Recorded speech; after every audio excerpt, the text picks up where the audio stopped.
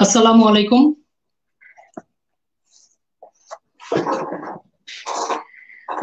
Career club এবং footwear exchange আয়োজিত আজকের এই পোস্ট কোভিড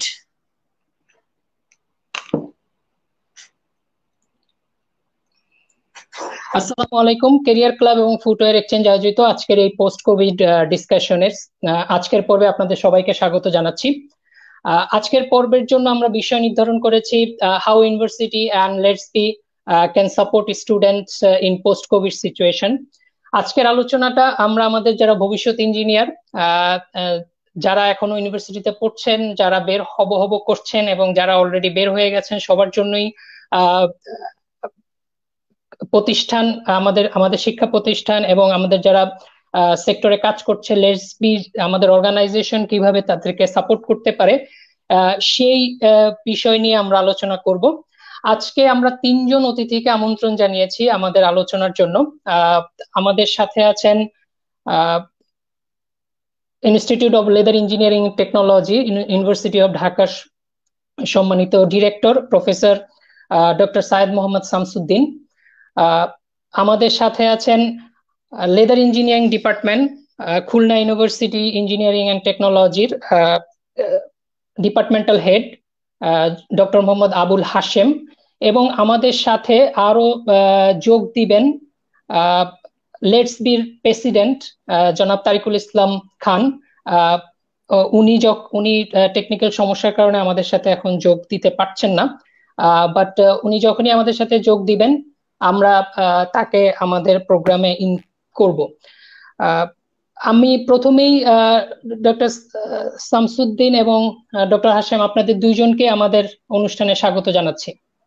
থ্যাংক ইউ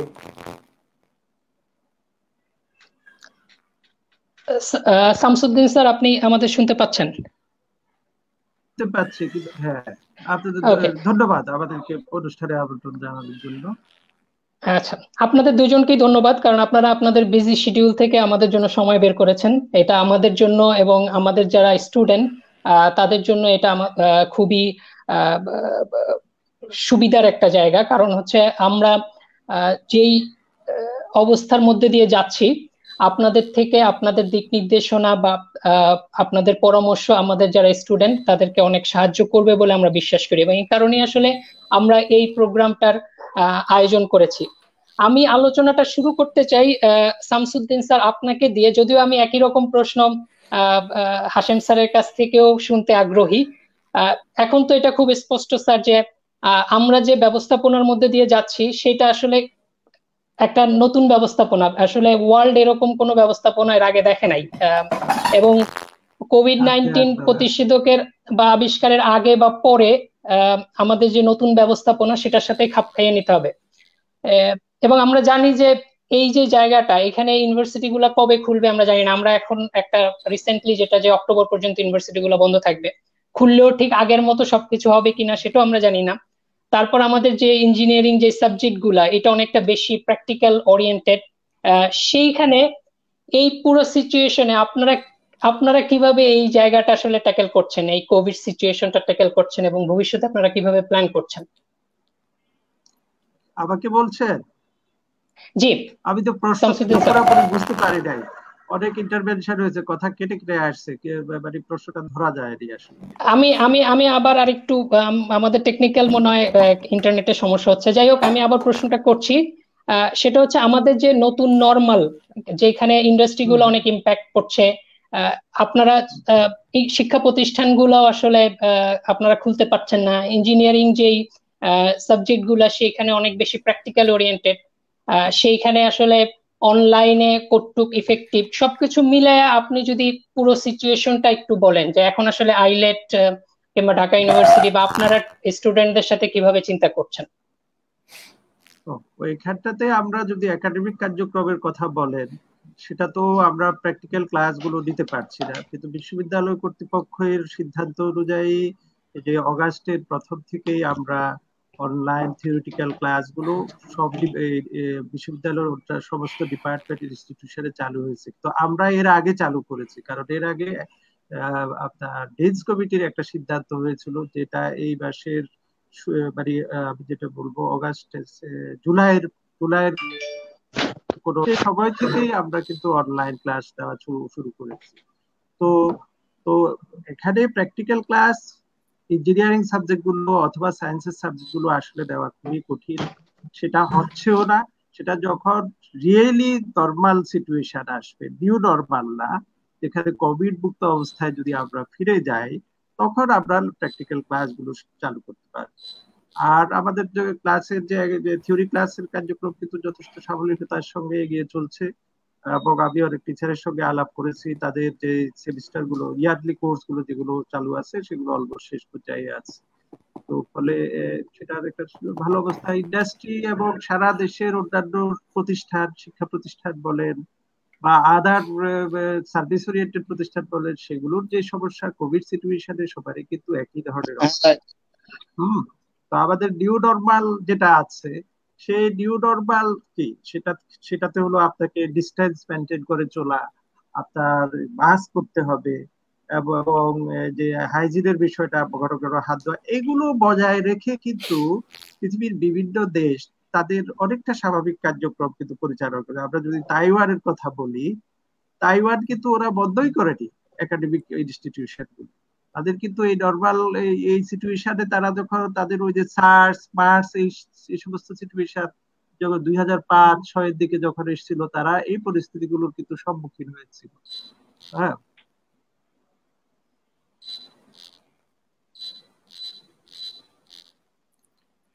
হ্যাঁ আমাদের সাথে এখন যোগ দিয়েছেন জনাব Tarikul Islam Khan leather engineering technology society বাংলাদেশের সম্মানিত প্রেসিডেন্ট স্যার, আপনাকে আপনাকে স্বাগত জানাচ্ছি আমাদের আমাদের অনুষ্ঠানে।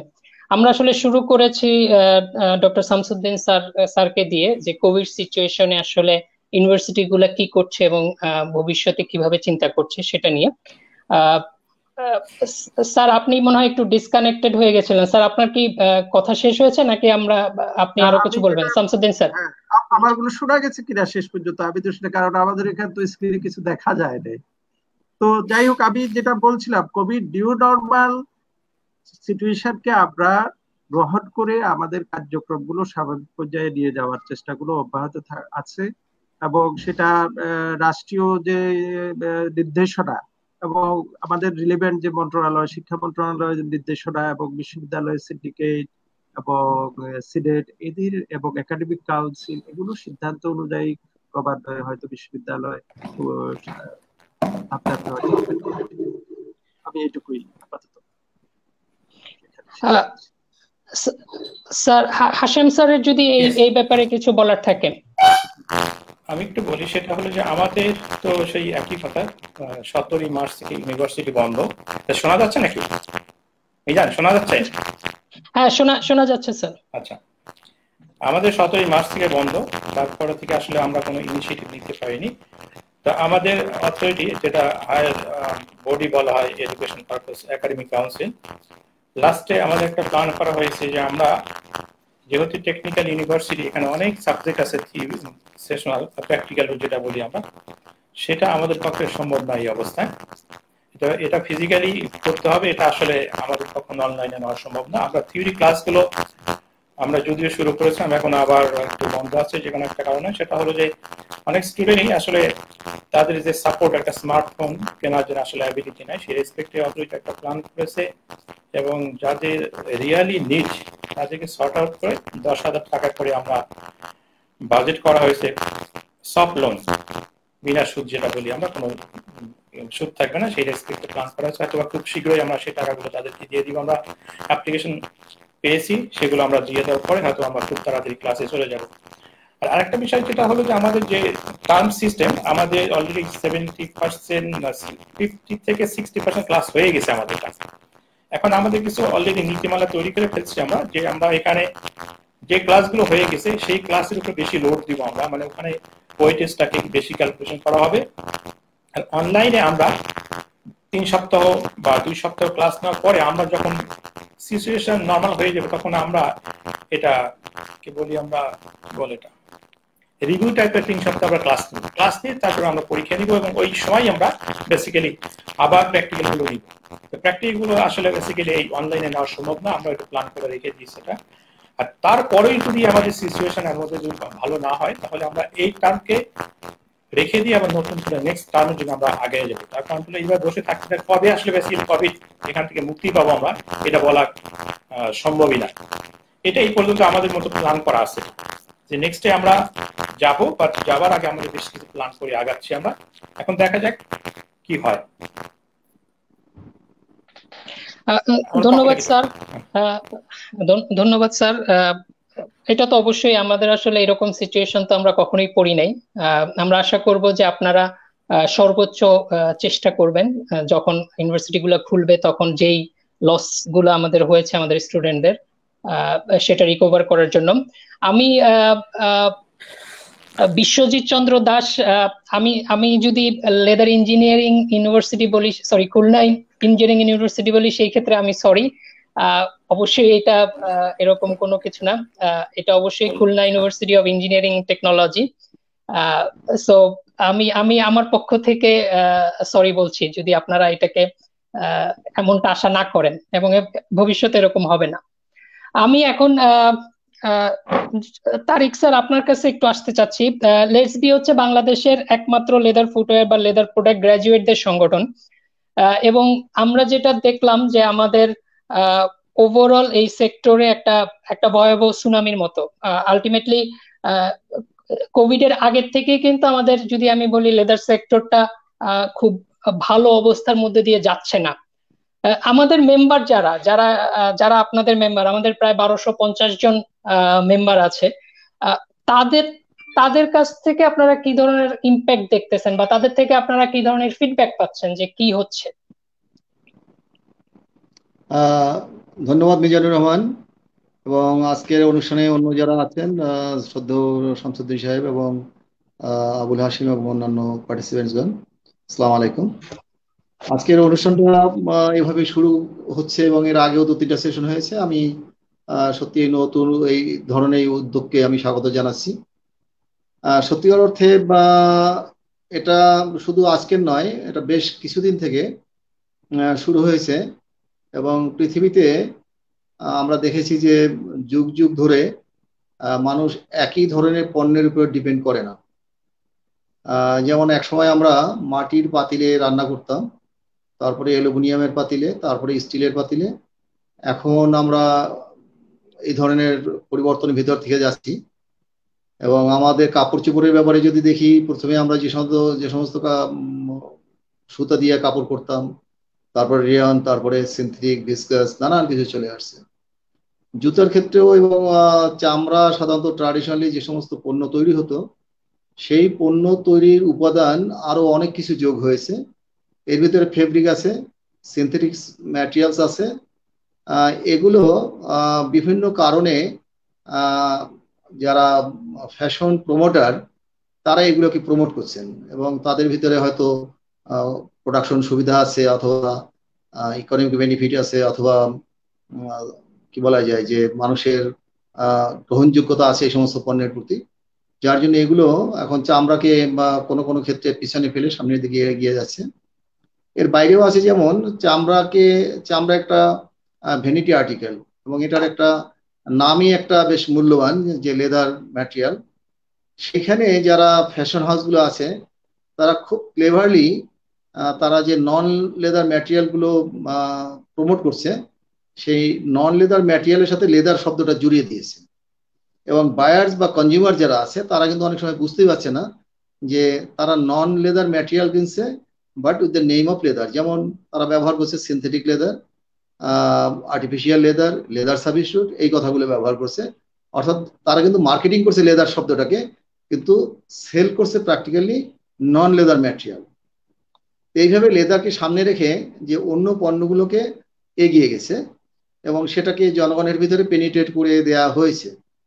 এই যে গ্রাজুয়ালি পেনিট্রেট করে দেয়া হয়েছে অন্য পণ্যগুলোকে, যার জন্য প্রাকৃতিক যে ম্যাটেরিয়াল লেদার সেটা অনেকটা পিছিয়ে পড়েছে, অর্থাৎ সে তার ব্যবহারটা অনেকটা পিছিয়ে পড়েছে। বাট লেদারে ভেনিটি এবং লেদারে যে ইকো সাস্টেনেবিলিটি কার্বন ফুটপ্রিন্ট সেটা কিন্তু অন্য পণ্যের থেকে অনেক বেটার তা সেইখানে এই কোভিডের আগে থেকেই কিন্তু একটা কি বলা যায়, লেদার পণ্যের যে পিছিয়ে পড়া, সেই পিছিয়ে পড়া থেকে লেদার ইন্ডাস্ট্রিগুলোকে পিছিয়ে পড়তেছিল? সাথে সাথে এর সাথে আর যোগ হয় এলডাব্লিউজি, অর্থাৎ কিছু কিছু regulations traceability chemical selection process selection environment regulations health and safety এই যে ইস্যুগুলো আছে, সামনে আছে, এগুলোকে পালন করা বাধ্যতামূলক করেছে ফ্যাশন হাউসগুলো। এবং এই ফ্যাশন হাউসগুলোর বাইরেও কিছু কাস্টমার বা প্রডিউসার আছে যারা কমপ্লায়েন্স মেনটেন না করলেও লেদারটা কিনছে বা লেদার দিয়ে পণ্য তৈরি করে তারা বাজারে বিক্রি করছে। সেইখানে বিক্রি করতে গেলে, এটাকে আমি একটা সাধারণ উদাহরণ দিতে পারি। যেমন আমি এক কাপ চা যদি রাস্তার পাশে একটা দোকান থেকে খাই। তাহলে যেই চা আমি দশ টাকায় কিনে খাব, সেই চার কাপ যদি আমি হোটেল সোনার গায়ে খেতে যাই, তাহলে আমি একই চা আমি একশো টাকা দিয়ে কিনে খাব।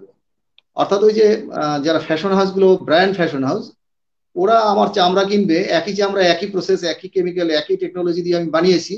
শুধুমাত্র এই কমপ্লায়েন্স ইস্যুর জন্য বা এলডাব্লিউ সার্টিফিকেশনের অভাবের জন্য আমাকে দেখা যায় যে দশ ভাগের এক ভাগ দামে বিক্রি করতে হচ্ছে। এই যে বিষয়গুলো, এগুলো সামনে আসাতে আমরা বাংলাদেশে দেখা যায় যে সরকার আমাদের হাজারিবাগ থেকে বলতে গেলে একবার এক প্রকার ধাক্কা দিয়েই হেমাদপুরে পাঠিয়েছিলেন এবং সেখানে কতগুলো উদ্দেশ্য ছিল।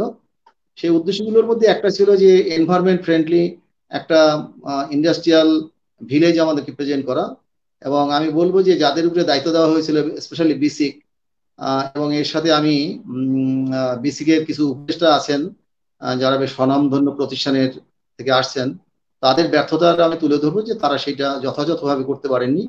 এবং এক্ষেত্রে বিসিকের নিজস্ব কোনো অভিজ্ঞতাও ছিল না। স্যার আমি আমি আপনাকে একটু স্যার আমার আপনাকে একটু থামাতে হবে আমার। মানে আমরা আসলে অবশ্যই এই এই বিষয়গুলো নিয়ে আরও আলাপ করব আমাদের হয়তো নেক্সট সেগমেন্টে জি জি জি প্লিজ আমি ব্যাকগ্রাউন্ড বলে এনেছি। আমার এক মিনিটের মধ্যে আমি শেষ করে দেবো। জি প্লিজ এই যে কারণগুলোর জন্য আমরা যে পিছিয়ে পড়েছি সেই জন্য তার ইম্প্যাক্ট পড়েছে ইন্ডাস্ট্রির উপরে এবং ইন্ডাস্ট্রিগুলো পিছিয়ে পড়ার কারণে আমাদের লোকজনগুলো চাকরি হারাচ্ছে বা তাদের নতুন চাকরির সুযোগ তৈরি হচ্ছে না। এটুকুই হলো আমার বলা। আচ্ছা স্যার আপনাদের আপনার কাছে কি এরকম কোনো আপনাদের কাছে যেহেতু একটা সংগঠন আপনাদের মানে এই এই এই রকম সংগঠন আসলে বাংলাদেশে আপনারাই তো সেই ক্ষেত্রে আপনাদের কাছে কি কোনো ডেটা আছে যে আমাদের কি রকম পার্সেন্টেজ বা কি তাই কত কত রকম কত শতাংশ লোক আসলে আমাদের যারা গ্রাজুয়েট বের হয়েছে কুয়েট থেকে কিংবা আইলেট থেকে, তাদের মধ্যে কারা কত পার্সেন্ট চাকরি হারিয়েছে বা এরকম কোনো ডেটা কি আপনার কাছে আছে কিনা? ভেরি মানে এটা কি ওভারঅল মানে কি বলা যায় না ওভারঅল ওভারঅল না আমি আমি শুধু যদি কোভিড আমি আমি কোভিড সিচুয়েশনটা যদি ধরি কোভিড এর আগে যে ডিসকাশনটা এটা আসলে আমরা সবাই এই এই ডিসকাশনটা জানি। জাস্ট কোভিড যদি ইম্প্যাক্ট ধরি আমি সেই ক্ষেত্রে আপনাদের কাছে কোনো ডাটা আছে কিনা? আমাকে ওইভাবে ভেরি স্পেসিফিক কোনো ডাটা নেই। তবে একটা জিনিস হলো আমার যেটা মনে হয় যে যে সমস্ত টেকনোলজিস্টরা এমপ্লয়মেন্টে ছিলেন তাদের ভিতরে অন্তত পাঁচ থেকে দশ পার্সেন্ট টেকনোলজিস্ট হয়তো চাকরিতে নেই। এবং অনেকে চাকরিতে থাকলেও তাদের বেতন কমিয়ে দেওয়া হয়েছে। আবার অনেকে বাই ফোর্স ছুটি দিয়ে দেওয়া হয়েছে। যে আপনারা কোভিড সিচুয়েশনটা শেষ হলে পরে আবার এসে জয়েন করতে পারবেন। আপাতত আপনারা ছুটিতে থাকেন। ওকে থ্যাংক ইউ স্যার আমি, আমরা পরে এটা নিয়ে আরও আলাপ করব যে আমাদের যারা, যাদের চাকরি নাই কিংবা নতুন যারা চাকরিতে জয়েন করবে, তাদের জন্য লেটস বি কি করতে পারে, সেটা নিয়ে আমরা অবশ্যই কথা বলব। আমি একটা কমেন্ট নিয়ে নেই। একজন একটা কমেন্ট করেছে যে আমরা জানি যে বর্তমান পরিস্থিতিতে শিক্ষা প্রতিষ্ঠান খোলার মতো অবস্থায় নাই এবং আরও সময় লাগবে। শুধুমাত্র অনার্স ফাইনাল ইয়ার এবং মাস্টার্স কে চালু করা যায় কিনা। এটা আমাদের দুই দুই স্যারের কাছে আমার প্রশ্ন, শামসুদ্দিন স্যার এবং হাসান স্যার দুইজনের কাছে। শামসুদ্দিন স্যার, আপনি যদি বলেন যে আসলে এই প্রস্তাবনাটা কীরকম বা এটা আসলে শুরু করা যায় কিনা? এটা একটু চিন্তা করার মতো বিষয় কিন্তু, বিবেচনায় দেওয়া যেতে পারে। তবে আমরা বিচ্ছিন্নভাবে শুধু আমাদের প্রতিষ্ঠান, ইনস্টিটিউট চালু করতে পারবে না। এটা সামগ্রিকভাবে আমাদের ক্ষেত্রে যদি হয়, ঢাকা বিশ্ববিদ্যালয়কে এই বিষয়ে সিদ্ধান্ত এখানে বেসিক জিনিস কি? ওই যে সোশ্যাল ডিস্টেন্স মেনটেন করে যদি কার্যক্রমগুলো পরিচালনা করা যায় তাহলে বেশ পসিবল কিন্তু। এই যে সেগমেন্ট ওয়াইজ যে পরীক্ষা যাদের আসবে তাদের মানে কোনো একটা পার্টিকুলার ইয়ারের ক্লাস শেষ করে পরীক্ষা নিয়ে নেওয়া এই ধরনের ধারণাগুলো কিন্তু খুবই বাস্তবসম্মত হতে পারে যদি এগুলো হ্যাঁ। ধন্যবাদ। হাসিম স্যার আপনি কি একই রকম চিন্তা করছেন কিনা বা একই রকম ভাবছেন কিনা? না একটু বলি সেটা হলো যে আমাদের বেসিক্যালি ফাইনাল ইয়ার বলতে আমাদের ফাইনাল ইয়ার ওইরকম নাই। আমাদের যেটা ছিল পরীক্ষা শেষ হয়ে যাওয়ার পরে বেসিক্যালি বন্ধ হয়ে গেছে। শুধু একটা ডিপার্টমেন্ট আছে, তারা আসলে ফাইনাল ইয়ার কাজ ছিল মানে থিসিস প্রেজেন্টেশন এটা তারা শেষ করতে পারেনি যে কোনো একটা কারণে তার এখন টেক্সটাইল ইঞ্জিনিয়ারিং ডিপার্টমেন্ট তাদেরকে বেসিক্যালি করতে পরে এক থেকে দেড় মাস তাদেরকে ইন্ডাস্ট্রি অ্যাটাচমেন্টে থাকতে হয়। সেখানে গিয়ে তারা আটকা পড়ে গেছে। বাকি সবগুলো ডিপার্টমেন্ট বেসিক্যালি পরীক্ষা হয়ে শেষ হয়ে গেছে আমরা অলরেডি রেজাল্ট দিয়েছি অনেকে সার্টিফিকেট নিয়ে যাচ্ছে এটা। আর মাস্টার্সের কথা বলছি এটা মাস্টার্স বেসিক্যালি আমাদের কন্টিনিউয়াস চলছে অনলাইনে ক্লাস নিচ্ছি আমরা রেগুলার এটাতে কোনো মাস্টার্স কন্টিনিউয়াস ঠিক আছে ধন্যবাদ স্যার দুইজনকেই আমি আবারও শামসুদ্দিন স্যার আপনার কাছে ফিরে আসতে চাই। আমরা আসলে ক্যারিয়ার ক্লাবের এই আয়োজনে আমরা এর আগের পর্বগুলোতে যারা সেক্টরাল লিডার কিংবা এন্টারপ্রেনার তাদেরকে আমন্ত্রণ জানিয়েছিলাম। এবং একটা একটা কমন অভিযোগ ছিল যে আমাদের যারা গ্রাজুয়েট বের হচ্ছে, আমাদের বোথ ফ্রম আইলেট এবং কুয়েট তাদের কারিকুলামটা আসলে অনেক বেশি থিওরিটিক্যাল তাদের শিক্ষার সাথে সেক্টরাল যে ডিমান্ড সেইখানে ম্যাচিং এর যে জায়গাটা, সেটা একটা একটা সমস্যা। এবং তাদের একটা একটা অভিযোগ এরকম যে যে নতুন নতুন যে ইন্ডাস্ট্রিয়াল টেকনোলজি সেটাতে তারা কোয়াট করতে পারছে না ইন ওয়ান সেন্স আবার ইন্ডাস্ট্রি বা ফ্যাক্টরি চালানোর জন্য যে ম্যানেজিয়াল স্কিল কিংবা আপনার বেসিক ফিনান্সিয়াল যেই বেসিক দরকার, সেই জায়গাটায় একটু আমার তাদের অভিযোগ অনুযায়ী হচ্ছে সেটা আমাদের স্টুডেন্টরা জানছে না। এখন আমরা তো একটা স্পেশালাইজড এডুকেশন বলতেছি, আমরা ইঞ্জিনিয়ারিং বলতেছি সেইখানে আসলে বিজনেস বা ওই জায়গাটার রিলেশনটা কীভাবে আপনারা চিন্তা করছেন? কারণ আমি যদি একটা ফ্যাক্টরি চিন্তা করি সাপ্লাই চেইন ম্যানেজমেন্ট আমাদের আমাদের যারা গ্রাজুয়েট তারাই কিন্তু সাপ্লাই চেইন ম্যানেজার হচ্ছে। আমাদের যারা গ্রাজুয়েট তারা মার্চেন্ডাইজ করছে। নট অনলি যে তারা ডিজাইন করছে কিংবা তারা প্রোডাকশনে কাজ করছে। সো এই এই বিষয় নিয়ে আপনাদের কি কোনো পরিকল্পনা আছে কিনা? রেশনতে আছে। তো আপনি যে কথাগুলো বলছেন, আমরা এগুলো স্বীকার করে নিচ্ছি। ইন্ডাস্ট্রির সঙ্গে আমাদের কিন্তু সেইভাবে ঘনিষ্ঠ যোগাযোগগুলো আসলে এখনও রক্ষা করা সম্ভব হয়ে ওঠে নাই। আর যে এখানে একটা ইন্ডাস্ট্রিগুলো যে একটা ট্রানজিশন মোমেন্টস গেল, ঢাকা বিশ্ববিদ্যালয়, এই যে হাজারিবাগ থেকে যে হেমায়তপুরে গেল, সেই কারণে তারাও সেইভাবে সেটেল হতে পারে নাই। তো আমরা এগুলো নিয়ে আমাদের বিবেচনায় আছে, আমাদের কারিকুলামকে রিস্ট্রাকচারিং করার প্রক্রিয়াগুলো আমাদের এখন চলমান। আমরা বর্তমানে যে কারিকুলামটা আছে, এটাকে আমরা ড্রাস্টিক্যালি চেঞ্জ করার কার্যক্রম চলমান রয়েছে। এটা এই প্রক্রিয়ায় আমরা ইন্ডাস্ট্রির সঙ্গে ইন্ডাস্ট্রি যারা লিডার আছে, বিভিন্ন রিলিভেন্ট অ্যাসোসিয়েশন আছে, তাদের সঙ্গে এবং আমরা আপনার সাজেশন অনুযায়ী যেগুলো যে ইন্ডাস্ট্রিতে ধরনের টেকনোলজি গুলো ফলো করা হয়, সেগুলো আমরা মধ্যে যাতে নিয়ে আসতে পারি, সে বিষয়ে আমরা আর একই সঙ্গে অ্যাসোসিয়েশনের যারা আছেন বা ইন্ডাস্ট্রিয়ালিস্ট যারা আছেন, তাদেরকেও আমাদের প্রতিষ্ঠানের দিকে একটু ওনারা হয়ে আমাদের কাছে চলে আসতে হবে যাতে আমরাও ওনাদের বিষয়গুলো পিক আপ করে নিই। যাতে এখানে কে আগে ডাকলো ও সেই অপেক্ষায় না থেকে আমরা আমাদের স্টুডেন্টদের ভালোর জন্য যে আমরা তো অভিভাবক। আমাদের শিক্ষা প্রতিষ্ঠানের যারা আমরা, যারা শিক্ষক সমাজ আছি, বিশ্ববিদ্যালয়ের প্রশাসনিক যারা কর্মকর্তা আছে এবং ইন্ডাস্ট্রি যারা করবে সবাই সম্মিলিতভাবে আমাদের আগামীর জনগোষ্ঠীকে যারা যাতে আমরা যথার্থভাবে গড়ে তুলতে পারি, সেই প্রক্রিয়ায় সবাই একসঙ্গে আমরা কাজ করি। না, আমি, আমাদের দর্শকদের যে আপনি, আমি দুই তিনটা প্রশ্ন আপনাদের ইয়ে করলাম। তো আলটিমেটলি সবাই আসলে এই নতুন যে ইন্ডাস্ট্রিয়াল রেগুলেশন সেখানের জন্য আমাদের প্রিপারেশন কি বা টেকনোলজি যে রেগুলেশন সেখানের জন্য কি প্রিপারেশন এটা খুব আসার কথা যে আপনারা অলরেডি চিন্তা করছেন। আমার ধারণা, তারিক স্যার এখানে আছেন এবং অন্য যারা ইন্ডাস্ট্রিয়ালিস্ট আছেন, তারা অবশ্যই আপনাদেরকে এই বিষয়ে তাদের যে রিকোয়ারমেন্ট সেটা জানাবে যাতে আপনারা ম্যাক্সিমাম সেটাকে অ্যাডপ্ট করতে পারেন। হাসিম স্যার আপনার, আপনি আসলে টিচিং ক্যারিয়ার শুরু করার আগে আপনি সেক্টরে জব করেছেন। এবং আপনি সেক্টরাল নিডটা জানেন। এখন অ্যাজ এ একটা ডিপার্টমেন্টাল হেড হিসেবে আপনার সেই স্কোপটা আছে যে আপনি সিলেবাস কিংবা কারিকুলাম যে প্রণয়নের যে জায়গাটা, সেইখানে আপনি অলরেডি সেক্টরাল নিডের যে জায়গাটা তো সেই ক্ষেত্রে কুয়েট কি কে আইলেট থেকে ডিফারেন্টলি কিছু করছে কিনা বা অন্য কিছু করছে কিনা যেটা যেটা আপনার আপনার প্রিভিয়াস এক্সপিরিয়েন্সের কারণে হয়তো আপনার জন্য সুবিধা হবে। আচ্ছা, আমি একটু বলি শোনাচ্ছে জি শোনা যাচ্ছে। এখন আমি তুমি জানো কিনা সেটা তারিখ স্যার জানেন জিনিসটা বিষয় সেটা বাংলাদেশে প্রায় সব পাবলিক ইউনিভার্সিটিতে একটা নতুন করে কারিকুলাম ডেভেলপমেন্ট করতে বলা হয়েছে সেখানে বলা আছে আউটকাম বেস এডুকেশন অ্যাটলিস্ট আমরা কি শিখতেছি, এটা আমাদের সেক্টরে কোনো জায়গাতে কাজে লাগবে কিনা, সেই বেসিসিটিতে আমাদের কোর্স কারিকুলামটা হবে। তো এটা রেসপেক্টে বেসিক্যালি আমরা এক বছর কাজ করে একটা সার্ভে করেছি। সার্ভে করে করে ল্যাকিংসগুলো কোথায় সেগুলো আমরা রেজিস্টার করেছি এবং সেটাকে, সেই রিপোর্টটাকে তিনজন এক্সপার্ট ভিতরে আমাদের sectoral expert Islam Khan sir একজন আসলেন মালয়েশিয়া থেকে, আর বাংলাদেশে একটা ইউনিভার্সিটি আসছেন তারা এটাকে রিভিউ করে, তারা কিছু কমেন্টস দিয়ে গেছে। সেই কমেন্টসের ভিত্তিতে আমরা কাজ করছি এটা।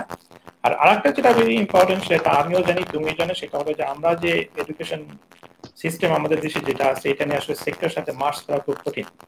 এখানে বেসিক্যালি দুটা পার্টি কাজ করতে হবে। একটা হলো ইন্ডাস্ট্রিকে কাজ করতে হবে একটা কাজ করতে ইউনিভার্সিটি ইন্ডাস্ট্রি কি চাচ্ছে, তাদের কি নিড সেটা আমাদেরকে বলতে হবে। আর আমরা কি তৈরি করছি, আমাদেরকে বুঝতে হবে যে আমার স্টুডেন্ট গিয়ে কোথায় ঝামেলা করতেছে, আসলে সেই ফিডব্যাক দিতে পারতেছে কিনা। আর মাঝখানে যে মানে পার্ট যেটা আছে, সেটাকে একটু লিয়াজি করার জন্য আমি লেটস বি, যে ক্যালকুলেশন কান্সার আছে লেটস বি যেই প্রেসিডেন্ট থাকে, তাদেরকে এই কাজটা করতে হবে। লিয়াজি করতে হবে যে আসলে ইন্ডাস্ট্রি কি চাচ্ছে, এই প্রোডাক্টটা ইউনিভার্সিটি থেকে অথবা ইনস্টিটিউটে তৈরি হচ্ছে কিনা, সেখানে গ্যাপটা কোথায়? এটা একটা বড় বিষয়। তার হলো যে এই বিষয়ে আমরা বেশ কাজ করতেছি এটা।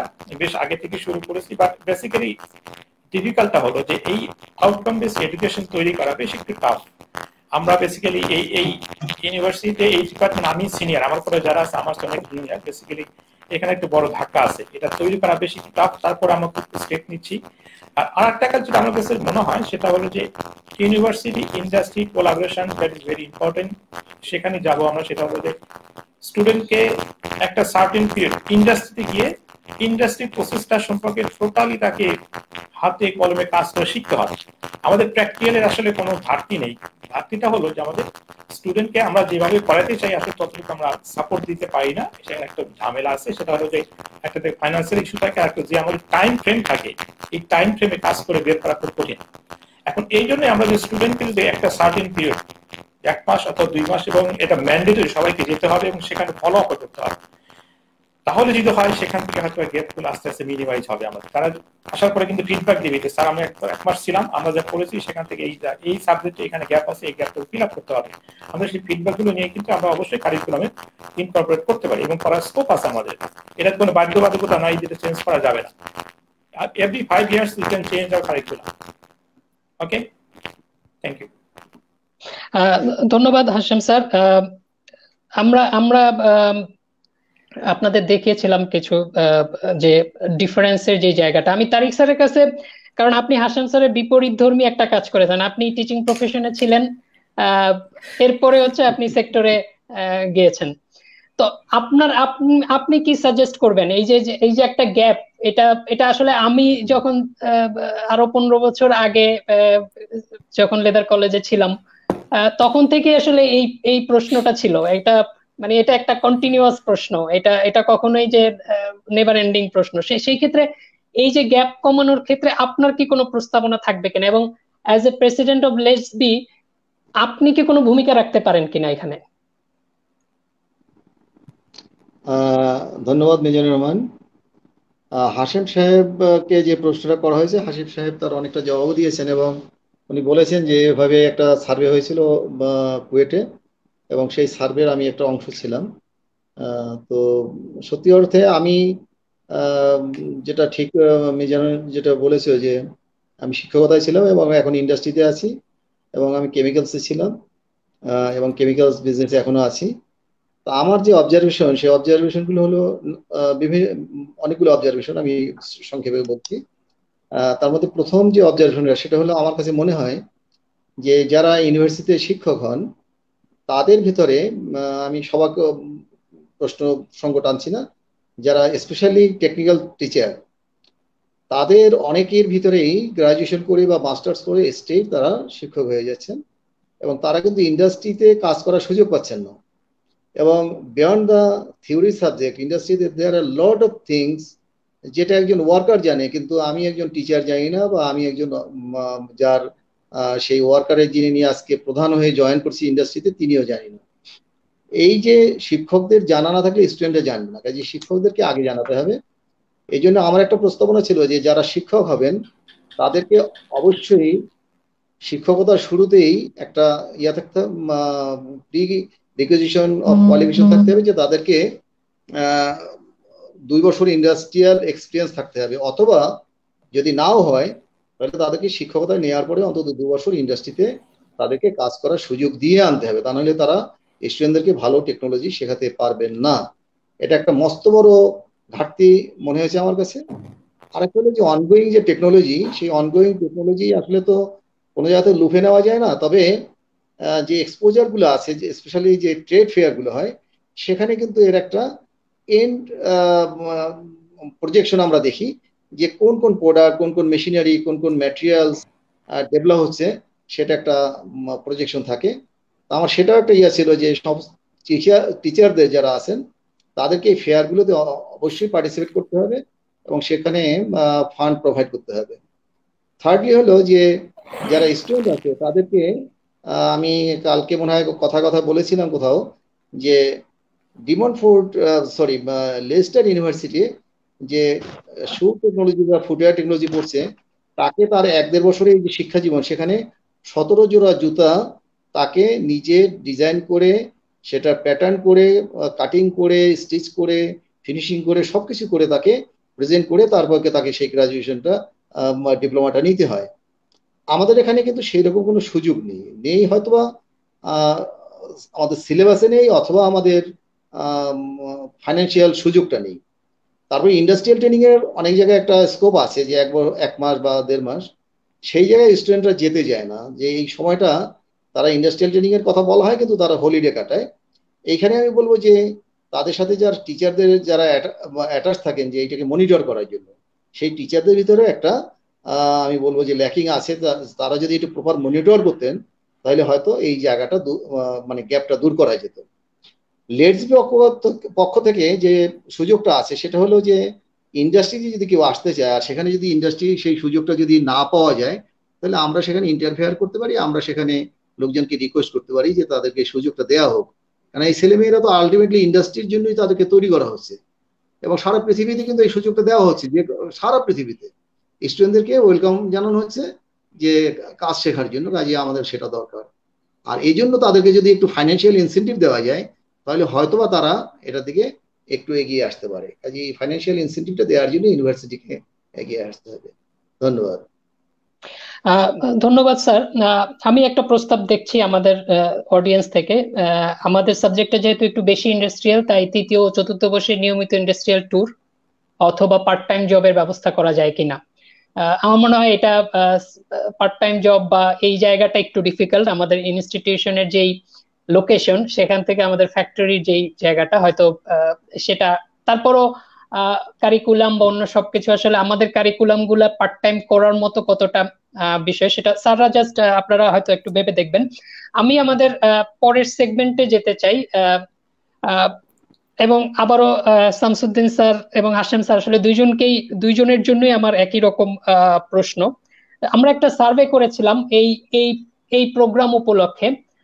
সেইখানে আমরা দেখেছি যে একশো জন রেসপন্স করেছে এবং প্রশ্নটা ছিল হচ্ছে how you define present collaboration between ILET DU or LE KUET and footwear leather product industry তো আপনি যদি দেখেন কোলাবোরেশনের দিক দিয়ে হাই তারা খুব খুবই স্যাটিসফাই এবং হাইলি কোলাবোরেশন ভাবছে পনেরো পার্সেন্টের মতো অ্যাভারেজ চিন্তা করছে সাতাইশ পার্সেন্ট এবং বাকি সবাই হচ্ছে লো অথবা ভেরি লো চিন্তা করছে যে কোলাবোরেশনের জায়গাটা আসলে অত বেশি নাই। এবং অবশ্যই রেসপন্স মাত্র একশো তিন জনের এইটা আসলে এইটাকে খুব বড় করে দেখারও কিছু নাই। বাট এটা হচ্ছে এটা একটা একটা আসলে সাধারণের মধ্যে একটা ধারণা আছে যে টিচিং ইনস্টিটিউটের সাথে ইন্ডাস্ট্রির সম্পর্ক ভালো না। এমনকি আমরা যারা প্রাক্তন ছাত্রছাত্রী তাদের যারা যারা কেউ কেউ খুব তাদের ইন্ডাস্ট্রিতে খুব সুনামের সাথে কাজ করছে। এবং সেই এক্সপার্টিসগুলা ইনস্টিটিউশন ব্যবহার করছে না। এটা হচ্ছে একটা কমন ধারণা। এখন আপনারা উল্টা বলতে পারেন যে প্রাক্তন ছাত্রছাত্রীরা ইনস্টিটিউশনে আসছে না। বাট যে কোনো ভাবেই জায়গাটা হচ্ছে এরকম। এবং আমরা যদি পাশের দেশে দেখি যেমন আমি যদি এফডিডিআই কিংবা সিএলআরআই এর কথা চিন্তা করি ইন্ডিয়াতে তারা কিন্তু অনেক তাদের কাজটা কিন্তু অনেকটা সেন্টার অফ এক্সেলেন্স হিসেবে। এবং সেই জায়গাটাতে আইলেট কিংবা কুয়েট আসলে সেন্টার অফ এক্সিলেন্স হওয়ার যেই ভূমিকা সেইটা কেন নিতে পারতেছে না কিংবা সমস্যাগুলা কোথায়? এবং এর জন্য এই যে সেন্টার অফ এক্সিলেন্স করার জন্য আপনাদের আপনারা কি কোনো উদ্যোগ নিচ্ছেন কিনা? হাসেম স্যার, আপনি যদি শুরু করেন।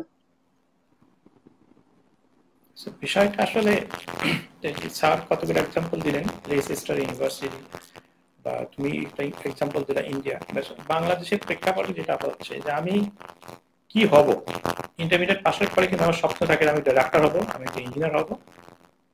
ডাক্তার ইঞ্জিনিয়ার বলতে civil engineer mechanical engineer electrical engineer but কেউ কিন্তু লেদার ইঞ্জিনিয়ার হতে চায় না। এখন আমরা যখন সাবজেক্ট পড়ি, সেটাতে আসলে কিন্তু আমার দরদ থাকে না, এটা একটা বড় জিনিস এটা। এটা আমি যেটা বলব অনেক স্টুডেন্ট আছে, পড়াশোনা করে, তার একটা সার্টিফিকেট লাগবে সেই সার্টিফিকেট নিয়ে চলে যাবে, সে কিন্তু সেক্টর থাকবে না। এখন আমি একটা সাবজেক্ট করব, আমার সেখানে দরদ থাকবে না, তাহলে কিন্তু আমাকে এটা কিছু হবে না। এখানে বড় একটা গ্যাপ রয়ে গেছে আমাদের স্যারও যেটা বললেন যে আসলে ইউনিভার্সিটি ইন্ডাস্ট্রি কোলাবোরেশন হবে, মাঝখানে লেটসপি কাজ করবে বাট স্টুডেন্টদের একটা বড় ভূমিকা আছে যে আমরা দেশের জন্য সেক্টরের জন্য কাজ করব সেখানে কিন্তু আসতে হবে। আর সেন্টার অফ এক্সিলেন্সি যেটা বললাম, সেটা হলো যে আসলে এটা সম্ভব। আমরা বেশ কিছু স্টেপ নিচ্ছি। আমাদের যেহেতু নতুন ডিপার্টমেন্ট এবং বেশ মেশিনারি যে চলে আসছে, আমরা বেশ বাইরের দেশের ইউনিভার্সিটি বেশ কিছু কোলাবোরেশন করে ফেলছি। আমরা যেমন তুরস্ক একটা ইউনিভার্সিটির সাথে করেছি, ইউক্রেন একটা ইউনিভার্সিটি করেছি নেক্সট আরও কিছু ইউনিভার্সিটি হবে। তা আমরা চেষ্টা করতেছি তাদের ভবিষ্যতে অবশ্যই আমাদের যে সমস্ত ফ্যাকাল্টি মেম্বার বাইরে আসেন পিএইচডি করতে গেছেন, তারা যদি আসেন, অবশ্যই এটা সম্ভব আমাদের জন্য। বাট আমি বলব যে জিনিসটা সেটা হলো যে স্টুডেন্টকে ভাবতে হবে যে আমি যে সাবজেক্টে পড়ি সেখান, সেখানে পড়ি সেইটাকেই বেশি কিছু দেওয়ার চেষ্টা করব। তাহলে কিন্তু সেক্টর এবং সেই ইনস্টিটিউটের ডেভেলপমেন্ট হবে, সেখান থেকে কিন্তু আরও ভালো কিছু পাওয়া যাচ্ছে না হয়তো কিন্তু হবে না। আমরা যত চেষ্টাই করি না কেন, যেমন কালকে আমরা কথা বলতেছিলাম যে আসলে সবাই প্ল্যান থাকে যে আমি পাশ করে আমি বিসিএস দেবো, আমি অমুক হব, তমক হব, এটা করব না। বাট এই জায়গাতে না আসলে হবে না। এটা একটা বড় জিনিস এই জায়গাতে আমাদের আসতে হবে, এটা এটা শুধু টিচার স্টুডেন্ট শিক্ষক, আমরা যেটা সবাইকে সম্মিলিত ভাবে কাজ করতে হবে। না করলে এক্সিলেন্স ভাবি, মুখে মুখে ভাবে কোনো সেন্টেন্স লিখে লিখে আমরা তোমার ব্যানারে জুড়ে রেখে কোনো লাভ নেই। বাট এই জন্য আমাদের সবাইকে একসাথে কাজ করতে হবে, সবার ভিতরে একটা আগ্রহ থাকতে হবে, না হলে কিন্তু হবে আমার পক্ষ থেকে স্যার মনে কিছু বলবেন? না, আমার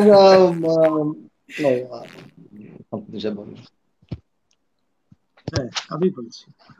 তো যেটা হলো সেন্টার অফ এক্সেলেন্স এটা কিন্তু আসলে একটা আপেক্ষিক টার্মস এবং আমাদের প্রত্যেকটা প্রতিষ্ঠানকেই একটা ভালো প্রতিষ্ঠানে মানে এক্সেলেন্ট ইনস্টিটিউশনে রূপান্তরিত হওয়া প্রয়োজন।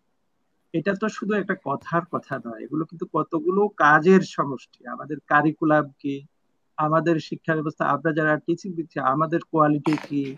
তারপরে আমাদের রাষ্ট্র ব্যবস্থা কি চায়? আমাদের সমাজ কি চায়? আমাদের স্টুডেন্ট কি চায়?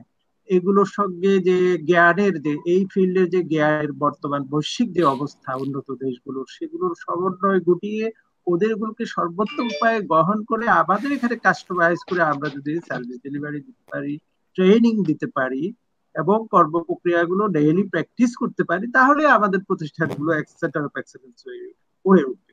এখন প্রশ্ন কিন্তু আমি যে এই যে ব্যাখ্যাগুলো দিলাম, ওর মধ্যেই তার প্রশ্ন উত্তর নিহিত আছে। আমরা এগুলো চাই কিনা সত্যিকার অর্থে? আমরা যদি মনে পানে চাই, আমাদের এই জন্য যে রিসোর্স অ্যালোকেশন দরকার, আমাদের যে নিষ্ঠার প্রয়োজন, আমরা এগুলোকে যদি সমন্বয় করতে পারি, তাহলে অবশ্যই সেন্টার অফ এক্সেলেন্স হবে।